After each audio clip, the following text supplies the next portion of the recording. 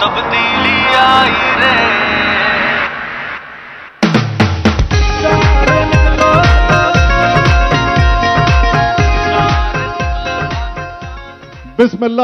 रहीम अस्सलाम पाकिस्तान।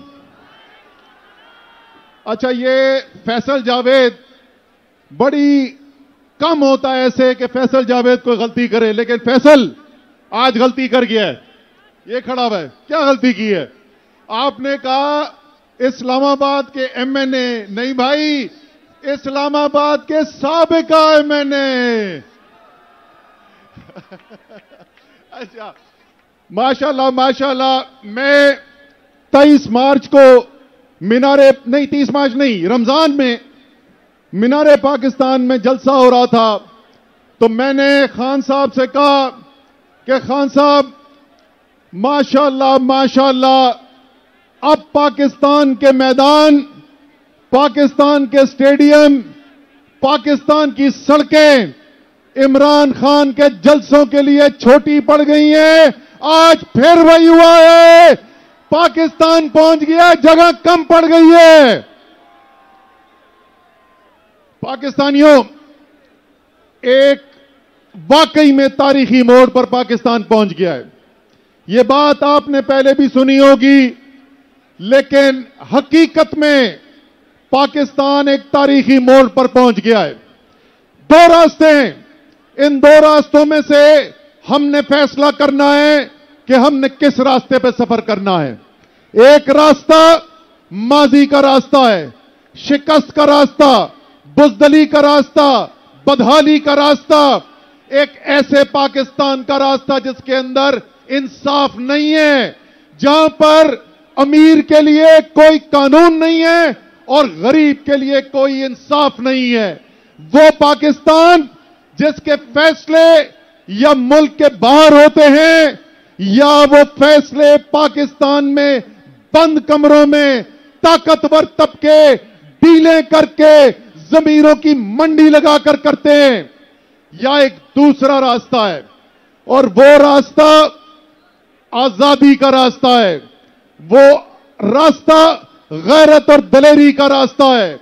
वो रास्ता अमन का रास्ता है, खुददारी का रास्ता है, खुशहाली का रास्ता है।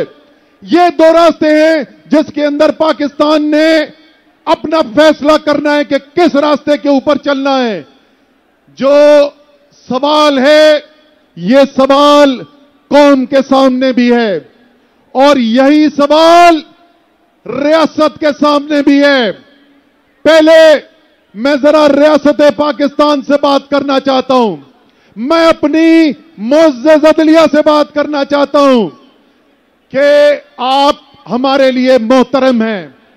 आप हमारे लिए मोहतरम हैं। आप इंसाफ की कुर्सी पर बैठे हैं। लेकिन माजरत के साथ पाकिस्तान के अवाम देख रहे हैं और उनको नज़र आ रहा है कि इस मुल्क में आला अदलिया के अंदर भी इंसाफ के दरवाजे बंद नज़र आ रहे हैं। आज से चंद दिन पहले यहाँ पर जब ये बुजदिलाना कातलाना हमला हुआ इमरान खान की जात के ऊपर तो लोग खुद निकले, किसी ने अपील नहीं की थी। सड़कें बंद हुई, लोगों ने रास्ते रोके। तो मेरे पास, अब सुनो ये, क्या बोल रहे हैं? मेरे पास एक पुलिस के सीनियर अफसर की कॉल आई। वो कहते हैं कि जी, जज साहिबान नाराज़ हो रहे हैं। क्योंकि जज साहिबान को अपना रास्ता बदल के जाना पड़ा तो उनको तकलीफ़ पहुँची। उनकी तकलीफ़ का हमें एहसास है। हमें उनकी तकलीफ़ का एहसास है और वो हमारे लिए मोहतरम भी हैं। लेकिन जज साहिबान, मैं आपसे ये पूछता हूँ कि ये गाड़ी आपको जो मोड़ के दूसरी तरफ़ ले जानी पड़ी, इस पर तो आपको तकलीफ़ हुई। आप ये बताएँ कि खुदा ना खास्ता, खुदा ना खास्ता, अल्लाह ना करे, आपके घर में तीन बजे धावा बोला जाता। आपको अपने बीवी बच्चों पोते पोतियों के सामने जदकोप किया जाता। आपको आज़म सवाती की तरह गुमनाम जगह पर ले जाया जाता, बरहना किया जाता तशद किया जाता, आपकी हुर्मत को पामाल किया जाता, आपकी बीवी पंज वक्ता नमाजी, पर्देदार खातून को ब्लैकमेल करने की कोशिश की जाती, खुदा ना खास्ता अगर ऐसा होता तो जज साहब फिर आप क्या सोचते? फिर आपको कैसा लगता? क्या आप क्या आप वैसे ही खामोशी से देखते रहते, जैसे आप आज़म सवाती को देखते रहे? जैसे उसकी इंसाफ की अपीलों पर आप नजरअंदाज करते रहे? क्या अरशद शरीफ की अपीलें आपको कि मेरे पर खतरा है, मुझे धमकियाँ दी जा रही हैं, और आखिर उसको मुल्क छोड़कर जाना पड़ा? आपने उसके लिए दरवाजे नहीं खोले। वो शहीद कर दिया गया। उसके लवाकिन उसकी माँ, उसकी बीवी, उसके बच्चे इंसाफ का इंतज़ार कर रहे हैं। जज साहेबान, आपने आज तक दरवाज़ा नहीं खोला उनके लिए। पाकिस्तान का सबसे मकबूल लीडर, पाकिस्तान का कप्तान, सबका वज़ीर आज़म सबसे बड़ी पार्टी का चेयरमैन उस पर कातिलाना हमला होता है। उस पर कातिलाना हमला होता है। उसको गोलियाँ लगती हैं। वो एक कानून के मुताबिक जो एक सादा शहरी के लिए भी जो हक हासिल है, वो एफआईआर कटाने की कोशिश करता है और उसकी एफआईआर नहीं काटी जाती। जज साहबान, क्या आपको ये नाइंसाफी नज़र आ रही है या नहीं? अगर आपको नहीं आ रही तो मैं ये पाकिस्तान की कौम सामने खड़ी है। मैं इनसे सवाल पूछता हूँ, ये सामने जो लोग हैं, मैं इनसे सवाल पूछता हूँ, क्या ये इंसाफ हो रहा है? क्या आपको इंसाफ होता नज़र आ रहा है? आपको नज़र आ रहा है? जज साहबान मोजिज जजेस, आपका हम एहतराम करते हैं, लेकिन पाकिस्तान की कौम को इंसाफ होता नज़र नहीं आ रहा। इसी तरीके से रियासत के दूसरे अहम इदारे पर आते हैं। पाकिस्तान की फौज फौज, वो फौज जिस पर हम सबको फख्र है, जिसके बहादुर, सिपाही अफसर इस मुल्क के लिए अपनी जान का नजराना पेश करते हैं। कोई एक माह नहीं गुजरता कि किसी फौज के सिपाही अफसर की शहादत की खबर ना आए। सब इज़्ज़त करते हैं। लेकिन क्या क्या ये पाकिस्तान की फौज को सियासत के अंदर मुदाखलत करनी चाहिए? मैं आपसे पूछता हूँ, करनी चाहिए मुदाखलत? क्या कोई माँ, ये पाकिस्तान की बहुत बड़ी ताकत है। माँ, माएँ अपने बच्चे कुर्बान करती हैं फौज में भेजकर। वो शहीद होते हैं माँ बाप उन पर फख्र करते हैं वो कहते हैं, और बच्चे होंगे तो और बच्चों को भेजेंगे।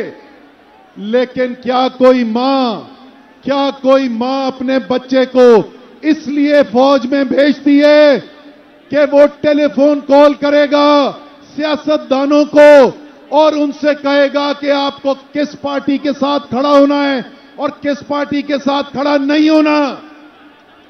क्या क्या वो शख्स, क्या वो फौजी जो अपने वतन के ऊपर मर मिटने के लिए तैयार है, क्या ये उसकी बेतौकीरी नहीं है?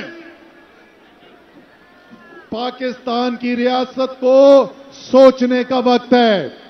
पाकिस्तान के अवाम, पाकिस्तान के अवाम, फैसला कर बैठे। पाकिस्तान के अवाम ने दो टोक फैसला कर लिया है। पाकिस्तान के अवाम कहते हैं, गुलामी गुलामी गुलामी। ये सुन लें सब कान खोलकर सुन लें। पाकिस्तान की कौम गुलामी करने को तैयार नहीं है। पाकिस्तानी कौम किसी गैर ताकत के सामने सर झुकाने को तैयार नहीं है। पाकिस्तानी कौम सिर्फ़ ज़ुबान से नहीं कहती, आज दिल से मानती है और अमल करती है। ला मोहम्मद रसूल अल्लाह ना अल्लाह के सिवा किसी के सामने झुकेंगे, ना रुकेंगे, ना डरेंगे। सिर्फ़ और सिर्फ़ अपनी हकीकी आज़ादी में अपने कप्तान के साथ जद्दोजहद करेंगे और इंशाअल्लाह ताला कामयाब होकर दिखाएँगे। तैयार हो पाकिस्तान? रुकोगे तो नहीं। डरोगे तो नहीं। झुकोगे तो नहीं। तुम्हारा कप्तान, हमारा कप्तान गोलियाँ खाकर भी खड़ा हुआ है। गोलियाँ खाकर खड़ा है। अपने रब पर यकीन रखता है।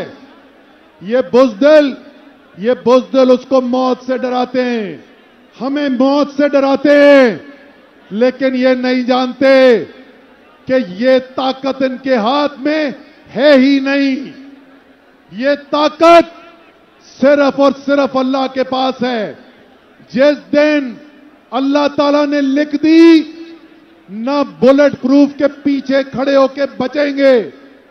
और जिस दिन नहीं लिखी तो वजीराबाद पे मंसूबाबंदी के साथ कातिलाना हमला भी करोगे तो कप्तान की जान नहीं ले सकते।